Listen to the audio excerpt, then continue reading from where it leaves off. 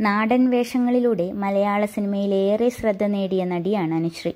തനി നാടൻ കഥാപാത്രങ്ങളിലൂടെയാണ് മലയാള സിനിമയിൽ അനുശ്രീ തന്റേതായ ഇടം കണ്ടെത്തിയത്.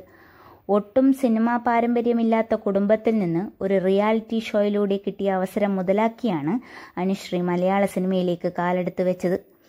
ലാൽ ജോസിന്റെ ചിത്രത്തിൽ ഫഹദിന്റെ നായികയായി വന്ന് ആദ്യ സിനിമയിൽ തന്നെ അനുശ്രീ പ്രേക്ഷകരെ അമ്പരിപ്പിച്ചു. മുപ്പത്തിരണ്ടുകാരിയായ അനുശ്രീ പത്ത് വർഷത്തോളമായി മലയാള സിനിമയുടെ ഭാഗമാണ്. ആ പത്ത് വർഷം കൊണ്ട് വലിയൊരു മാറ്റമാണ് അനുശ്രീയുടെ സിനിമാ ജീവിതത്തിനുമുണ്ടായത്. ആഗ്രഹിച്ച് മോഹിച്ച് സിനിമയിലേക്ക് വന്ന അനുശ്രീക്ക് ഒരു ഘട്ടം എത്തിയപ്പോൾ അഭിനയം തന്നെ നിർത്തണമെന്ന അവസ്ഥ വന്നിരുന്നു. പെട്ടെന്ന് ശരീരത്തിൽ വന്ന ചില മാറ്റങ്ങൾ കാരണം ഒമ്പത് മാസം താൻ ഒരു മുറിക്കുള്ളിൽ തന്നെ ഒതുങ്ങി ജീവിച്ചതിനെക്കുറിച്ച് ആദ്യമായി വെളിപ്പെടുത്തിയിരിക്കുകയാണ് അനുശ്രീ. പുതിയ സിനിമയായ കള്ളനും ഭഗവതിയുടെയും പ്രമോഷൻ എത്തിയപ്പോഴാണ് അനുശ്രീ അനുഭവം വിവരിച്ച് കരഞ്ഞത്.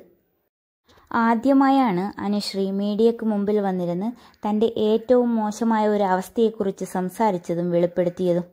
ഒരു ദിവസം പെട്ടെന്ന് നടന്നപ്പോൾ എന്റെ ഒരു കയ്യിൽ ബാലൻസ് ഇല്ലാത്ത പോലെ തോന്നി.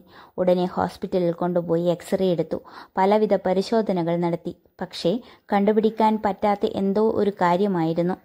പിന്നെ പരിശോധിച്ചപ്പോൾ ഒരു എല്ല് വളർന്നു വരുന്നതായി കണ്ടെത്തി. അതിൽ നെർവൊക്കെ കയറി ചുറ്റി കംപ്രസ്ഡായി കുറച്ച് മോശമായ അവസ്ഥയിലായിരുന്നു. പൾസ് കയ്യിൽ കിട്ടുന്നില്ലെന്നൊരു സിറ്റുവേഷൻ വരെ വന്നിരുന്നു. അങ്ങനെ പെട്ടെന്ന് സർജറി ഫിക്സ് ചെയ്തു. സർജറി കഴിഞ്ഞിട്ട് എട്ടൊമ്പത് മാസത്തോളം എന്റെ കൈ പാരലൈസ്ഡ് ആയിരുന്നു. അങ്ങനെ ഇനി സിനിമയൊന്നും ചെയ്യാൻ പറ്റില്ല. എല്ലാം പെട്ടിയിൽ പൂട്ടിക്കെട്ടി വെക്കണം എന്ന അവസ്ഥയായി. ഒമ്പത് മാസത്തോളം ഒരു റൂമിനകത്ത് തന്നെയായിരുന്നു എന്നാണ് അനുശ്രീ പറഞ്ഞത്. അനുശ്രീയുടെ വീഡിയോ വൈറലായതോടെ നിരവധി പേർ ആശ്വാസവാക്കുകളുമായി എത്തി. ഇത്രയും മോശമായ അവസ്ഥയിൽ നിന്നും തിരിച്ചു വന്ന അനുശ്രീക്ക് അഭിനന്ദനങ്ങൾ എന്നാണ് ഏറെയും പേർ കുറിച്ചത്. ട്വൽത്ത് മാനാണ് ഏറ്റവും അവസാനം റിലീസ് ചെയ്ത അനുശ്രീയുടെ സിനിമ. വ്യത്യസ്തമായ കഥാപാത്രങ്ങൾക്ക് വേണ്ടി നോക്കിയിരുന്നാൽ അവിടെ തന്നെ ഇരുന്നു പോകുമെന്നും അത്തരത്തിലുള്ള തീരുമാനങ്ങളൊന്നും ഞാൻ എടുത്തിട്ടില്ലെന്നും അടുത്തിടെ അനുശ്രീ പറഞ്ഞിരുന്നു.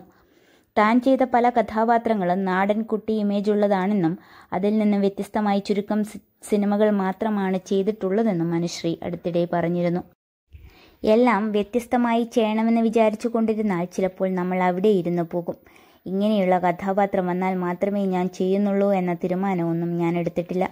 കൂടുതലായിട്ടും ഞാൻ ചെയ്തിട്ടുള്ളത് നാടൻ കഥാപാത്രങ്ങളാണ്. വ്യത്യസ്തമായതെന്ന് പറയുമ്പോൾ ഇതിഹാസിയോ ട്വൽത്ത് മേനോ പോലെയുള്ള വിരലെണ്ണാവുന്ന സിനിമകൾ മാത്രമാണ് ചെയ്തിട്ടുള്ളത് എന്നാണ് അനുശ്രീ പറഞ്ഞത്. വിഷ്ണു ഉണ്ണികൃഷ്ണൻ അനുശ്രീ എന്നിവരെ പ്രധാന കഥാപാത്രങ്ങളാക്കി ഈസ്റ്റ് കോസ്റ്റ് വിജയൻ സംവിധാനം ചെയ്യുന്ന സിനിമയാണ് കള്ളനും ഭഗവതിയും.